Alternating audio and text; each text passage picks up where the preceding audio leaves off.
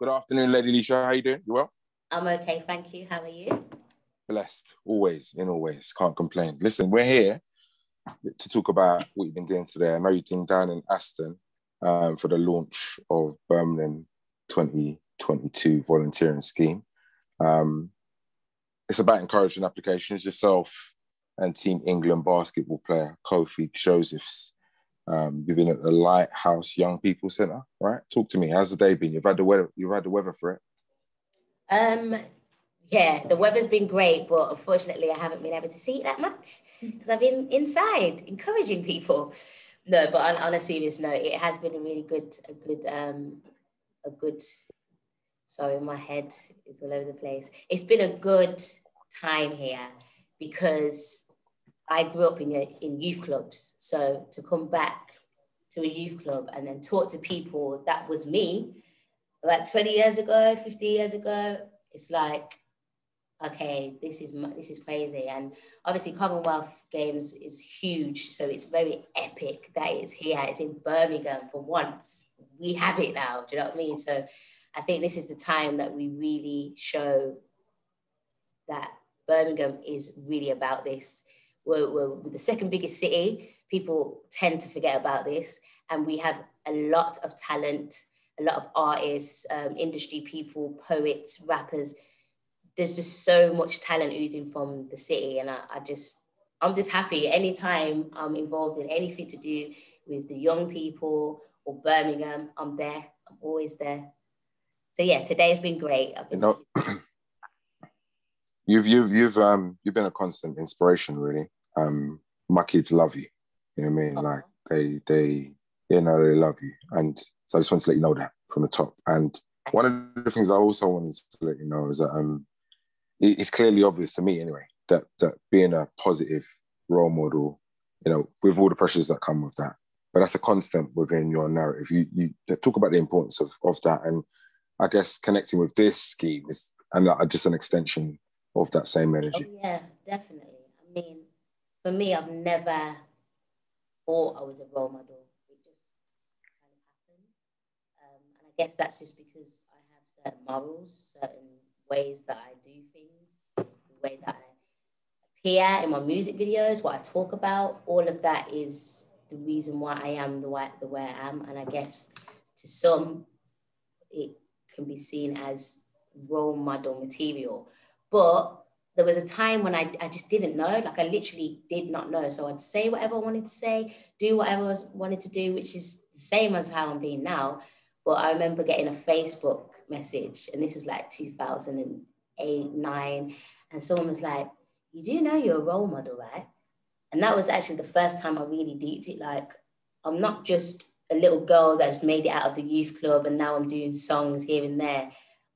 Everything that I put out into the universe can impact another person, another listener, another human that can relate to what I'm going through. So I started to understand that actually, maybe I am a role model. And someone reminded me I don't swear in my lyrics. I didn't know. It's not, it's not something I've done on purpose. It's just something I don't do. I don't see the reason to swear if I don't really do it in my real life. Do you know what I mean? Um, or even talk about things that I don't do. I just literally, I'm so sure of myself I only talk about what I know.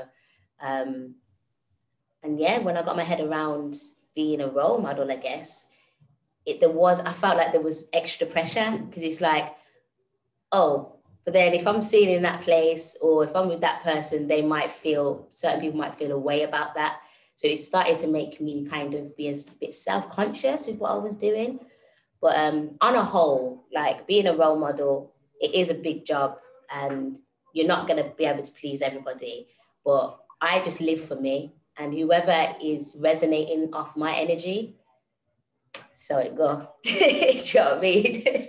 so yeah. So so, so it go indeed. And and no, I'm I'm glad you shared that with us. This Commonwealth Games focus, right, has instigated a whole raft of, you know, development that just that's really going to change the face of Birmingham. You must be excited about about what's coming in the next couple of years. Um, but but just on a sports front, what are you looking forward to? Looking forward to. Yeah, from a, from a sports perspective. From a what? Did so- From a I'm not did someone, did someone collapse? No, no, no, no. It's the door was open. um. Were Were you sporty in school?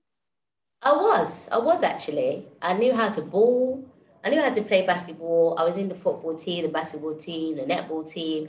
I've just been a very active person, you know, as in like I just I just like to do everything. And I think that just really goes into everything I do now. Like I can't just be a rapper. I want to do TV, I want to do acting, because you're not meant to just do one thing in life. I don't think you are. I think you're always meant to unlock a different part of your life. Um, but in general, I'm looking forward to seeing the whole thing because it's in Brum. Like, and I just want to know. I want to see how they're gonna, how it's all gonna play out and how it's gonna happen.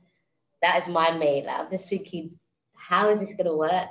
It's it's just mad. It's just exciting to me.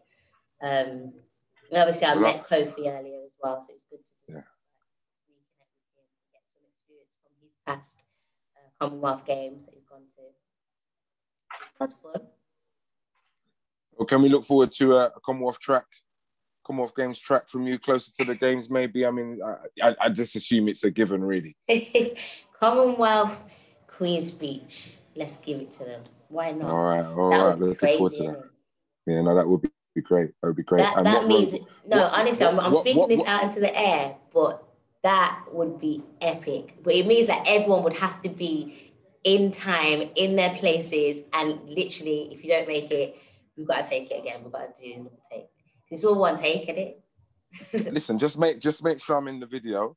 I'm gonna bring Yeah, right at the end. you just you, you just no no not no no right at the end. and um, yeah, I want to know what street man will be there because I know it's gonna be on the street, you know, as they all are. So yeah, Well, I'm, you never know. I might have to just pull up to the Commonwealth Games and start it then. Just I get heard it here first. That's my thing, though. You know, like I don't all the Queen's Speeches and the the kind of videos where there's no react, like people are just there and you're just thinking, are they staged? Are they paid actors? I do this on purpose. So Commonwealth Games don't even know that this might happen, but I'm telling them right now. But I'm just saying in general, I like to shoot things where people is like, what? Because that reaction is like, that's what gets people watching more like, oh my gosh, did you see that that lady? She, she didn't know that they were recording. But yeah, I love doing things like that. So who knows? All right, we we heard it here first. Looking forward to it. Thanks so much for your time. Good No luck with the rest of the day, inspiring the kids. Really appreciate it. All right. Thank you, man. And bless up to your kids as well. Tell them thank you so much.